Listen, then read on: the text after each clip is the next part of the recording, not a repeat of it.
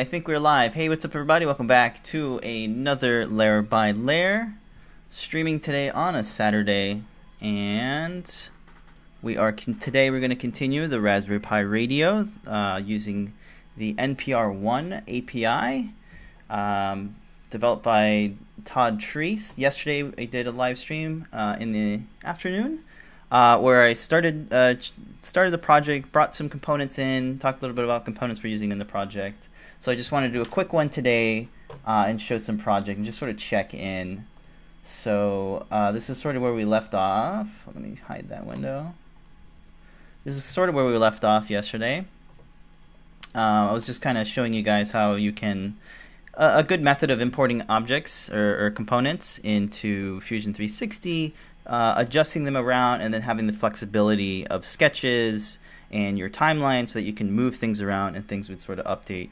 So I added a couple more buttons here. These are uh, controller buttons that are going to, that are going to be printed in conductive PLA. So when you touch these, uh, you'll be able to play, play pause, next, uh, uh scan backwards 15 seconds, and then the volume knobs on the back. Uh, so what I'm planning to do is I talked a little bit about making the top here where I was going to use the desktop mill CNC and mill this out of actual wood, some cherry wood. Um, but uh, some people might not have a CNC machine and just a 3D printer. So uh, I'm, I am going to have this as a sort of two-piece uh, where you can 3D uh, print this out as well. And the thing I like to do with my cases, if you guys have seen on my earlier projects like the Pi Grrl 0 and Pi Grrl 2, um, I like to add these connector lips instead of using screws. Uh, uh, previously, in other projects, I would make standoffs, make them long, and have a sort of uh, counter sunk um, bores, I guess we can call them, and I would screw them from the top. So with this one, I want to do the same thing, and I've learned a little bit of um, a, a, little bit of a better way to do it um, so that it, it, the lip goes all the way around. Little snap fit thing clamps onto your top case. But uh, since the top case has extrusions from the top, and I can't really add a lip to the bottom and then here because then I would have a bunch of support material and it would not look that good. So I'm, going to do a two-piece uh, top cover piece that's going to sort of just glue uh, to the second piece will be printed on the reverse. So you can imagine this uh, uh, just being flat like it is on the bottom and then connecting to this in this here. It's a little little hard to visualize so I don't have it done yet, but that was the point of this tutorial so I can show you guys and do it and, and instead of just moving and not streaming, I figured I'd stream and do it. So the first thing I'm going to do is I'm going to do a projection of this sketch. And the goal here is step one is to make a lip across this whole thing. So I'm going to do that by any any sketch tool will do.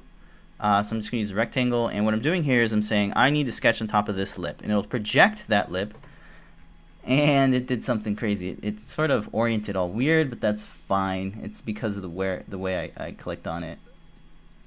And Fusion does its best to like orient it where it thinks you want to be, but it doesn't matter. So since I clicked on the top of that, it actually already projected uh, these two edges here to make this sketch. So all I need to do is make an offset, and they have this offset feature, which is super duper handy.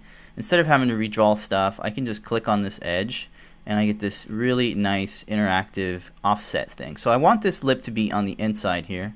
And actually, I clicked on the wrong uh, sketch curve, so I'm going to click and click on X, and then click on the inside, because I want the lip to be on the inside.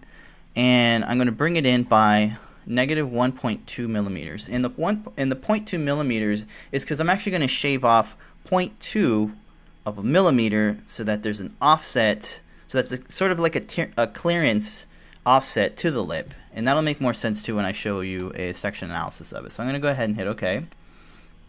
And then I'm going to make another offset. Click on the offset thing.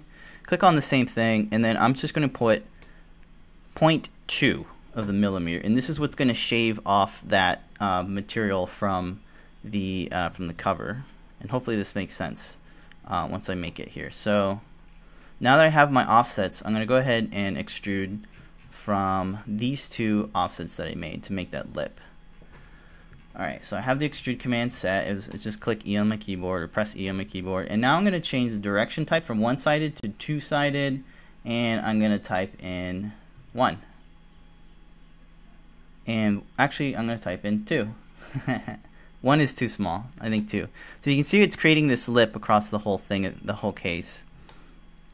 And it's also making it from the bottom. Or actually not two-sided. I'm going to make it symmetric.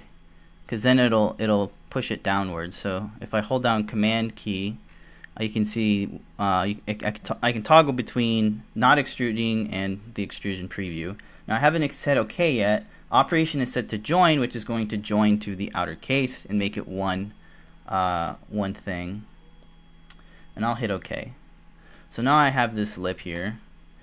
And to sort of make things a little bit easier or a little bit less resource intensive, like it's killing my processor now, I'm going to change the material from glass to steel because I don't really need to see through it. And this will just sort of make it, hopefully, make it a little bit um, better on my computer so it's not all slow and sluggish. So the next thing you're going to notice is if I do a section analysis, which is which just lets me see through the thing, I have quite a bit of an overhang. So I, you can see here that there's an overhang. And if you're 3D printing this, uh, it, your printer might be able to do it, but it'll be a little bit sloppy. So one thing we can do to alleviate that is just to put a, a chamfer on it, 45 degree chamfer. So I'm going to click on a chamfer, and now I can select different, uh, different excuse me, uh, different edges to add chamfer. So I'm going to click on this one, and I'm going to make the chamfer 1.2 because that's the actual uh, thickness that we made this uh, this lip, and you can see me toggle between uh, the chamfer and not the chamfer. That's basically what it's doing. So the printer can can print that out properly without this overhang. So I'm gonna click OK. That does it like that. And now I have my lip thing. Yay. So the next thing I'm going to do is I am going to create some tools that will allow me to sort of cut this away or, or, or to make this into uh, a little um, a little triangle so that I can um, snap fit a cover on top of it. So to do that, I am going to create a couple of different uh, couple of different uh, solids, which will be used as tools to create these projections. So I'll start off with making it on the inside here. So let's do that. I'll use um, I'll use the rectangle tool, and I'm just going to draw on this side here. i click on this side, and I'm going to use my line tool actually to find the center of this. It doesn't really matter where the center is uh, because I'm going to uh, end up doing a, a, a lip across this whole thing. So let's just skip that part and just draw anywhere here. So I'm going to draw this rectangle here, and it really doesn't matter uh, the width, but it does matter uh, the height of it. So 0.2 or 2 millimeters is the height of this uh, this tool. Hit OK, and that's pretty much it there. That's my little tool. Now I'm going to extrude this out, and I'm going to make it go the other way, not this way, but that way. And I'm going to make it one millimeter. Ah, it's uh, I have a little bug there. Good thing I have uh, a non-floaty window. So I'll just type in my values in there. Sometimes the floaty window doesn't let me punch things in. Um, so now that I have my one millimeter distance, um, actually, you know what I'm going to do? I'm going to hit cancel. I forgot to do one thing here. This lip is still one, uh, 1.2 millimeters. Uh, let's go ahead and delete. Let's go ahead and delete this from our from our uh, timeline too. What I should do is bring this back. I'm actually going to rename this sketch. This is a sketch that created our, our lip. I'm going to call it um, uh, lip, like that.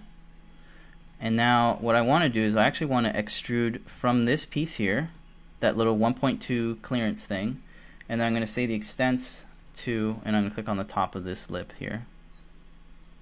And that's going to cut away from the entire lip area. Now I made it 1.2 because if I were to extrude it, it wouldn't actually be touching the inner part here. The inner part here wouldn't be touching the case. So that's why I made it 1.2. Hopefully that makes sense. Now if I do a measurement on this thickness, it's actually just one millimeter. You can do that by clicking on the measure tool, clicking on one edge here, one edge here, and I guess the edge again, because I didn't catch it the first time, and it'll tell you in the measurement that it is one millimeter thick it calls it a distance because that's the distance between the two edges I clicked on, so that's fine. Alright, so now I can start drawing the tool because I really need to have my my tool set exactly where uh, where that surface is so I don't have to move things and it just flows better. So I'm going to hide the lip for now, the little sketch for the lip, and I'm going to create that new tool that I was telling you about. So let me turn off section analysis for, for a minute there. All right, let's go back to the rectangle tool. I'm going to project the surface of this guy here, which is just one of the edges. And I will start from, it doesn't matter where. It's sort of arbitrary since I'm going to use the sweep across the whole thing. So again, it only matters that it's the, the height of the tool is 2 millimeters is equal to the height of the lip. So I'll hit 2 there. Hit OK. Now I'm going to start extruding from that little rectangle. I'm going to push it back by 1 millimeter, and I'm going to change the operation from cut to a new body, and this is going to be a new body. So hit OK.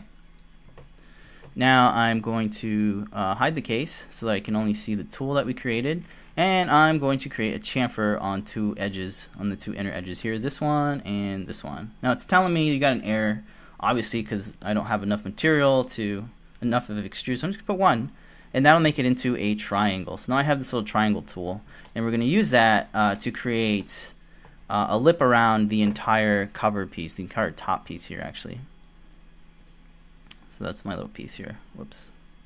Let me hide the case and it's actually going to be added to my top here in a second as soon as I create the top piece but I haven't created it yet so I'm going to bring back this case and start working on the next piece of the tool so I'm gonna name this uh, nub tool because it's going to be a nubbing for our cover and it'll make uh, sense in a second here or in a minute or two or five so the next thing I'm going to do is I'm going to sketch on this edge, or on this surface here, which is the inside of the lip. Not the outside, but the inside of the lip.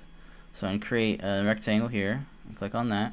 And again, it kind of doesn't matter how wide it is, but it matters how tall it is. So clicking over here, make it's actually going to be 2.8 millimeters tall, which is fine because that's uh, that equals out to with the minus the chamfer and all that, and so it comes out to 2.8 and it doesn't matter how wide it is so hit OK.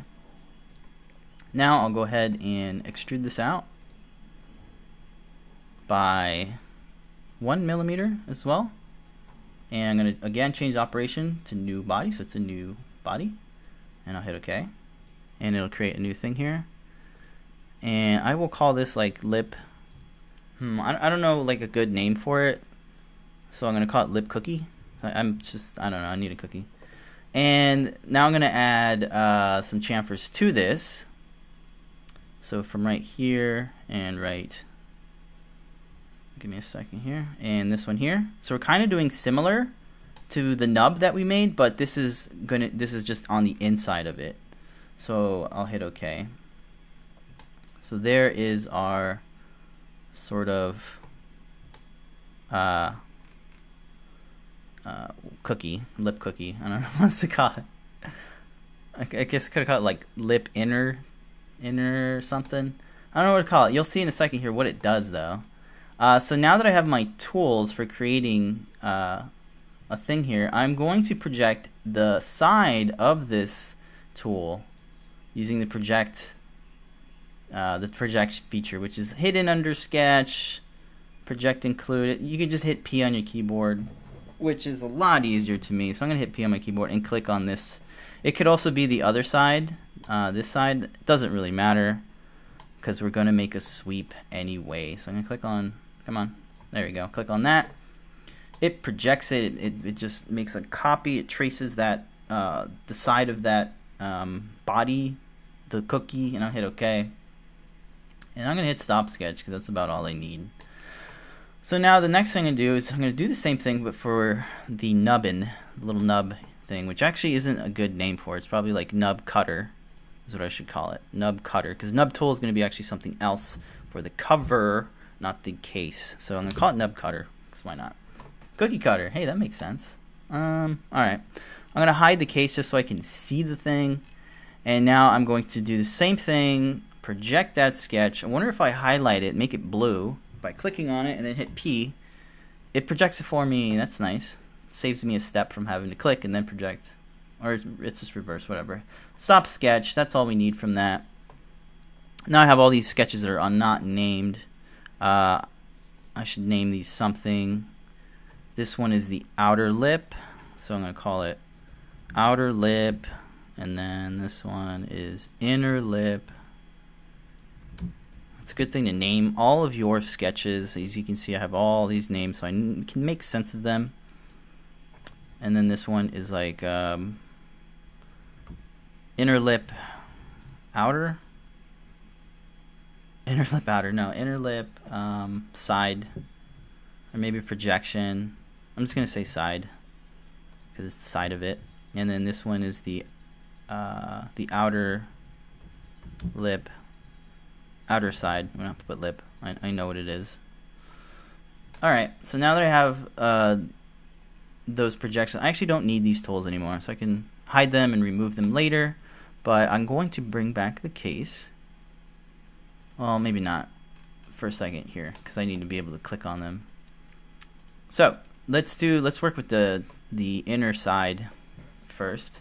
I'm going to right click and under create there's a sweep command. It's also of course under this tool menu sweep command. You can see what it does. It sweeps a, a sketch, profile, or a planar face along a selected path. And that's what's going to help us make uh, an inner uh, thing across the entire case. So now that I have, well, I had the profile selected, I'm going to select the path, and that's going to be this guy here.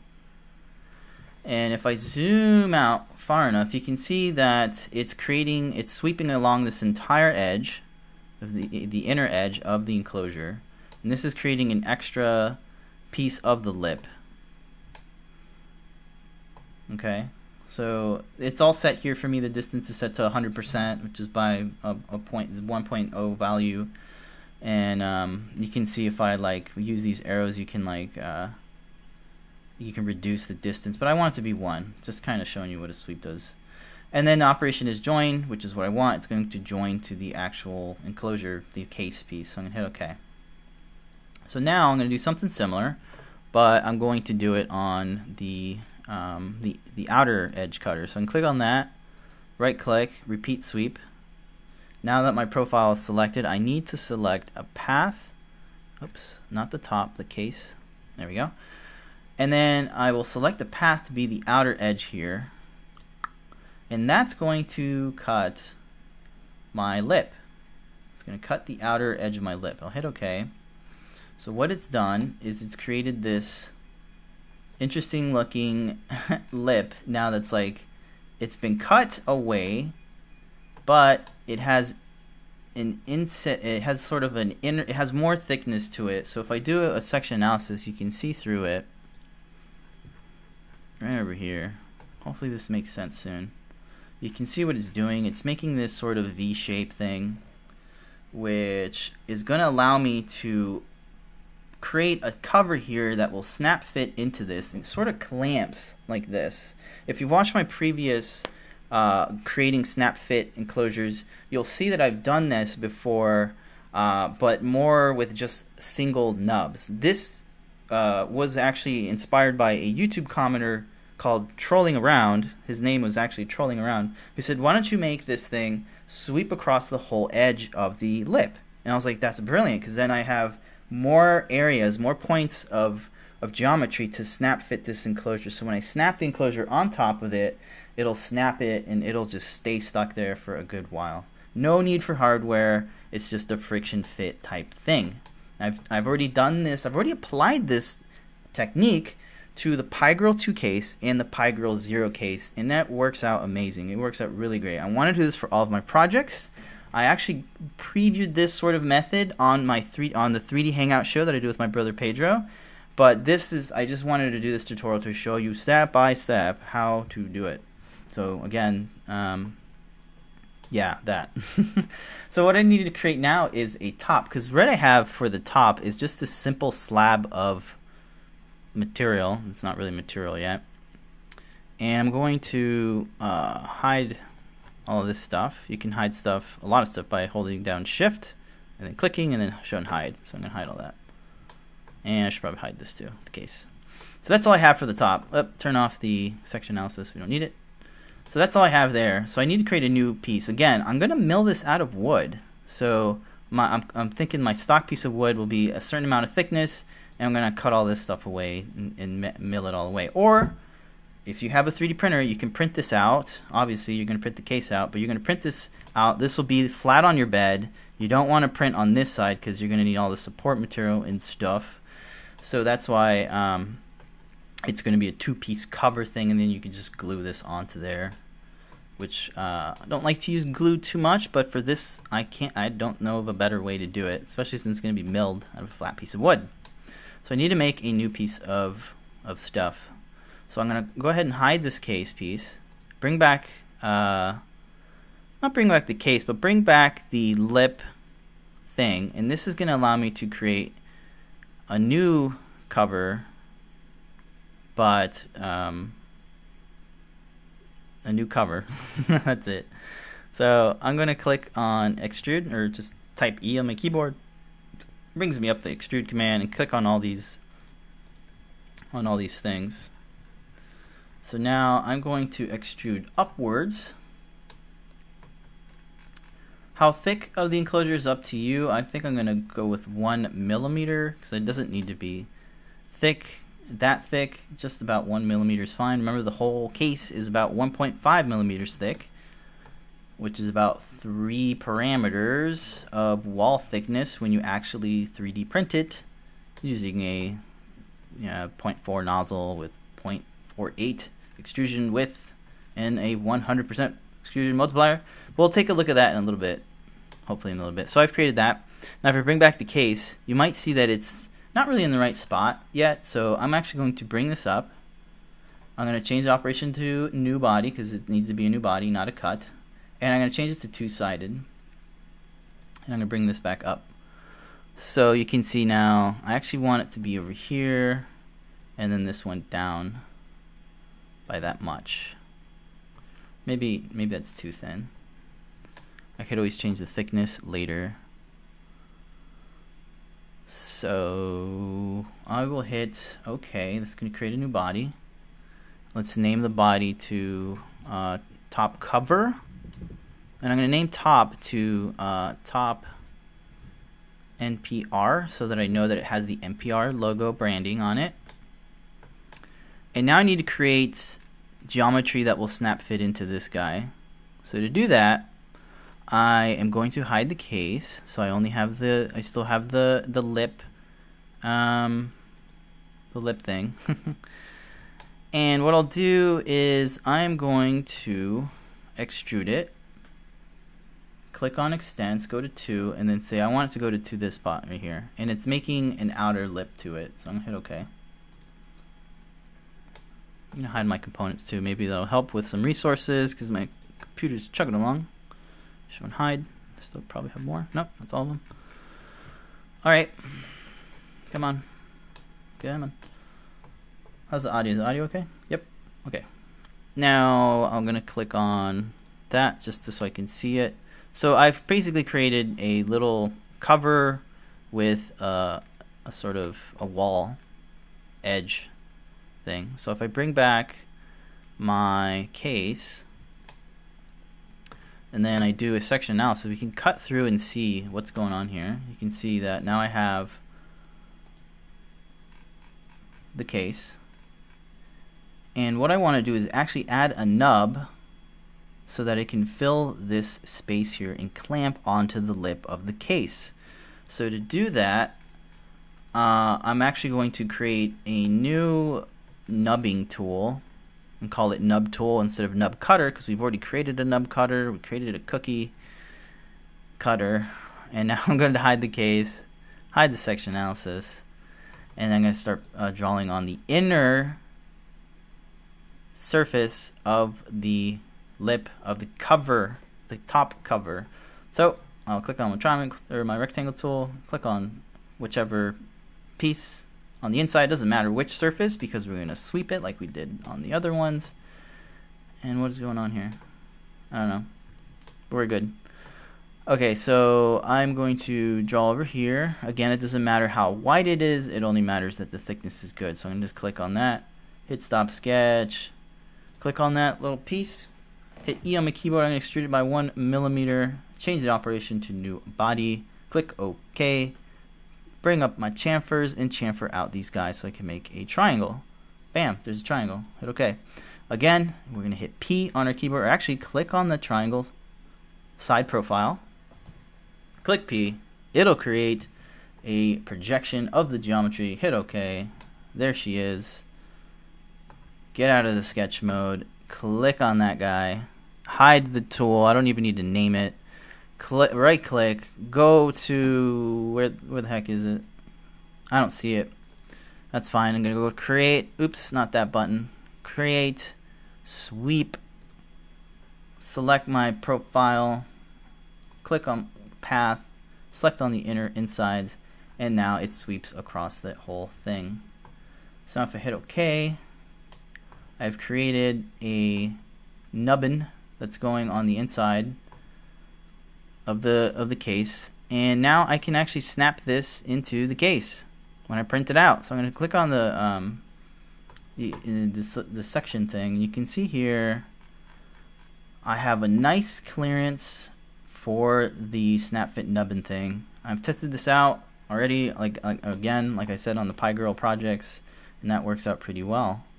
So that's how you make a uh, a really nice snap fit friction fit cookie cutter thing. I don't know what to call it. So that's that's how to do it. Um, I'm gonna turn off section analysis. So again, this is gonna be printed flat over here. They're all chamfers, so overhangs are gonna be no problem. Um, what else? Again, the NPR thing, probably need to move it up a bit. I'm just gonna select it, click M, and then move it up so that it's in the right spot here. Let's bring it up like this. Right there. Right there, right there. Hit OK. That's going to be wood, I think, or 3D printed and another wood composite. And that's pretty much it. It's going to be like a three-piece type enclosure deal. So, um, yeah, I think I'm I'm happy with it. Obviously, the buttons are hidden. What I'll do now is actually remove these guys. So instead of deleting them, uh, I'll hit the remove thing here. So I can click uh, remove right there, right click on them, hit remove.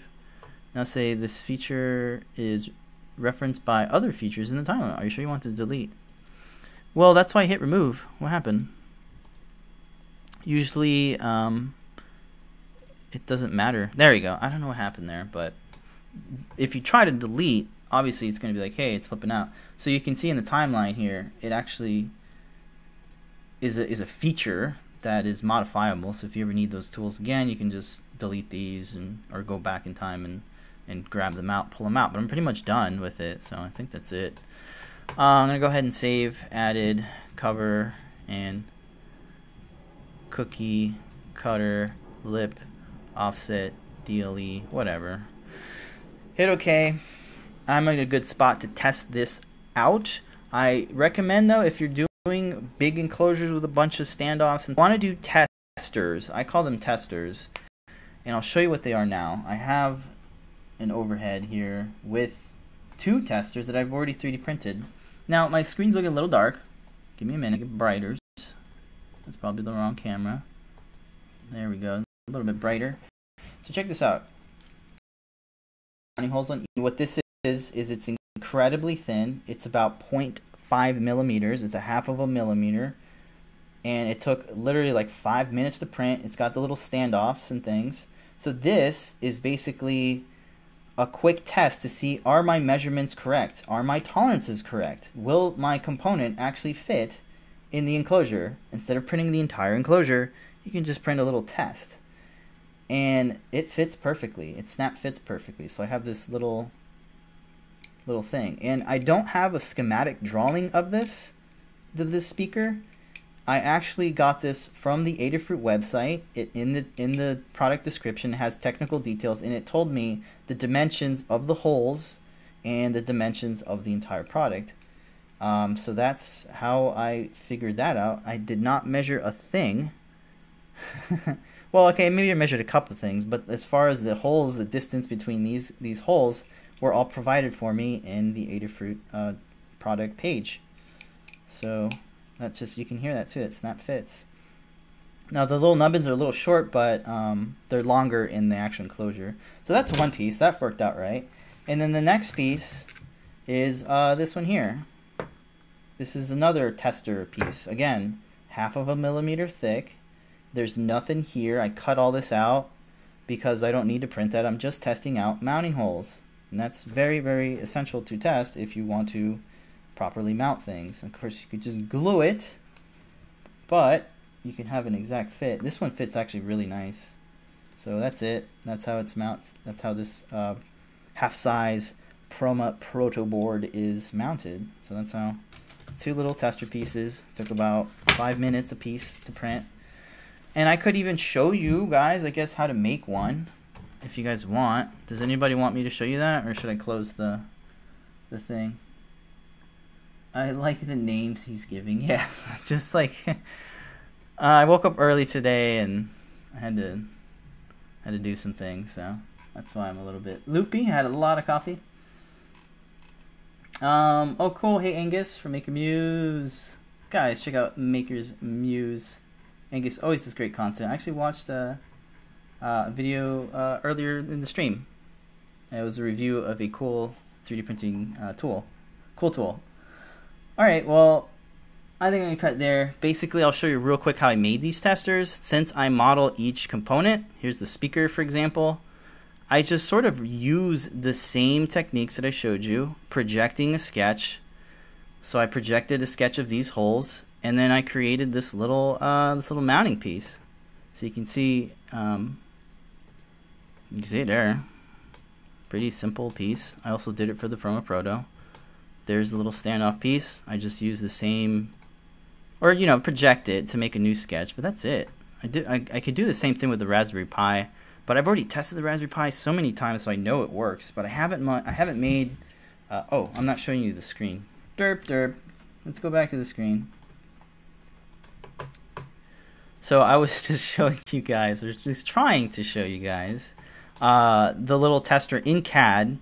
Uh, so you've seen me project sketches and stuff to create the lip. Well, I just project sketches from this component that I designed, you know, uh, from derived from sketches, and just made a new body when I projected the sketch that had standoffs. There's offsets for the little nubs, and that's that's how you make it. Made the same thing for the Perma-Proto, and I haven't I haven't needed to do the Raspberry Pi Zero because I, have I've already tested it quite a bit, and I just keep reusing my components. So now, if I ever need to use this speaker or, or a half-size Perma-Proto, I don't have to remake the components. I have them, and if you guys ever want them, uh, I can make them as a public download, so you can download it as a Fusion archive, and you can save it out as a step file, an IGS file, a SAT file and now a Google SketchUp file, which they added, which is pretty pretty cool. Um, yeah, at some point I would really like to have a GitHub repo where every single component that I've made is available for you guys to download. I'm still working on that. Not sure how to properly do it because there is quite a bit of components. So I just sort of give them out in a need to know basis, if that makes sense. Like I just give them out if people ask for it. So if you want any of these components, let me know. I will give you the download link so you can have your way at it. All open source goodness, right? So that's about it, guys.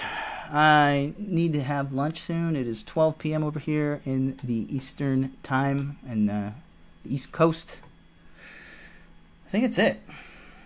I'm gonna actually print this out too.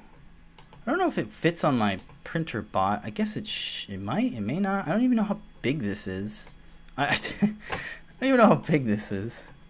Uh, cause, cause again, I didn't add any dimensions to the case. They're just kind of, it just kind of fits all the components. Just kind of group the components as much as I could, and you know, whoop, whoop, and right there. Okay, so I'm gonna print this out. Let's go ahead and, and bring it into Simplify 3D, my favorite slicer of choice. I'm just gonna save it as an STL. Refinement. They should name that to quality, but whatever. I'm gonna hit OK and save it here. I call it uh, NPR O for one case.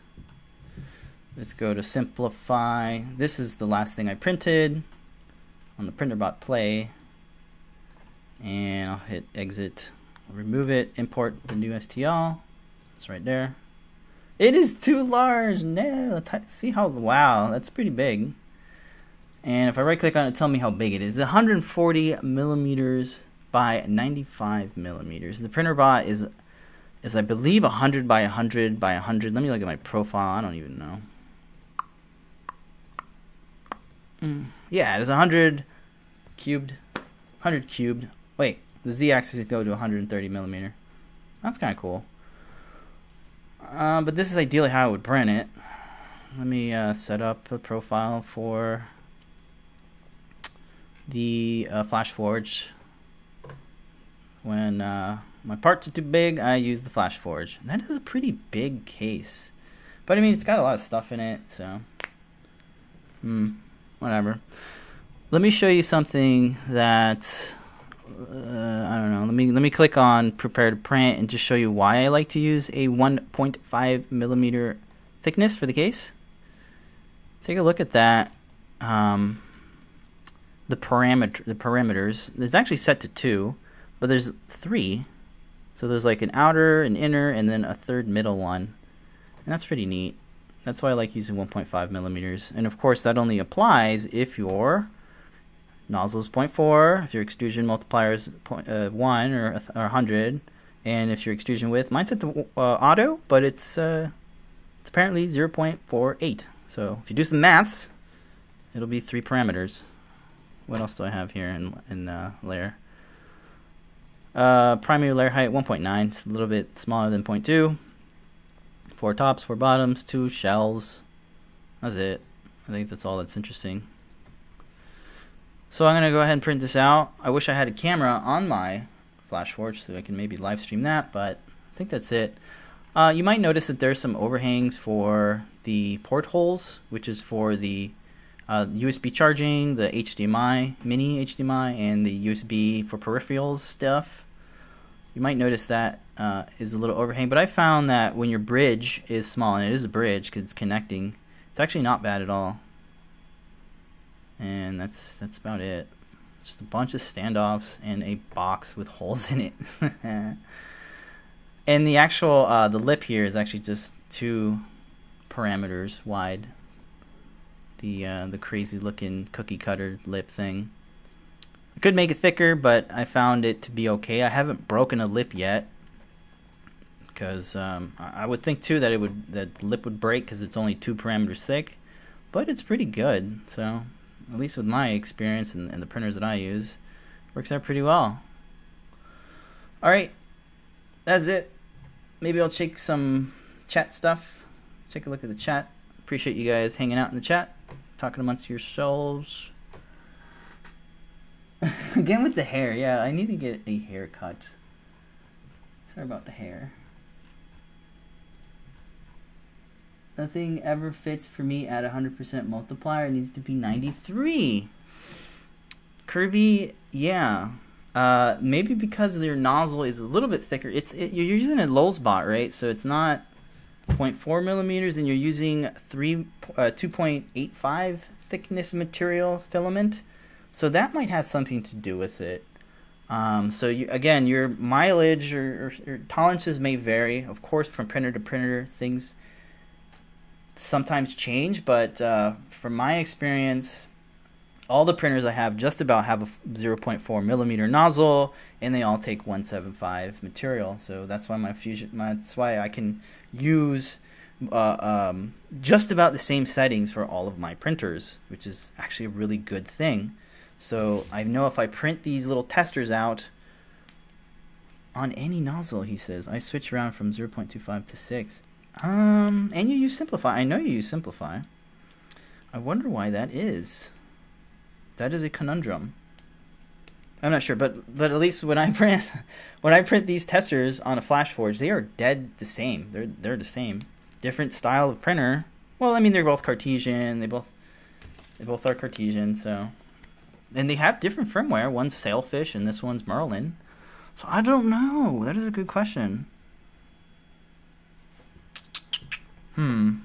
All right. Well, that's in, that's insightful, and that's another reason why uh, in in the tutorials that we do, the written tutorials, we tend to say um, these are suggested print settings. We do give the settings for the things that we use, but yeah, it prints good either way, though. That's good to hear. As a maker, you figure out what setting works for your printer, And if you want to make changes and stuff, we always give away the, the source files so you guys can have your way at it.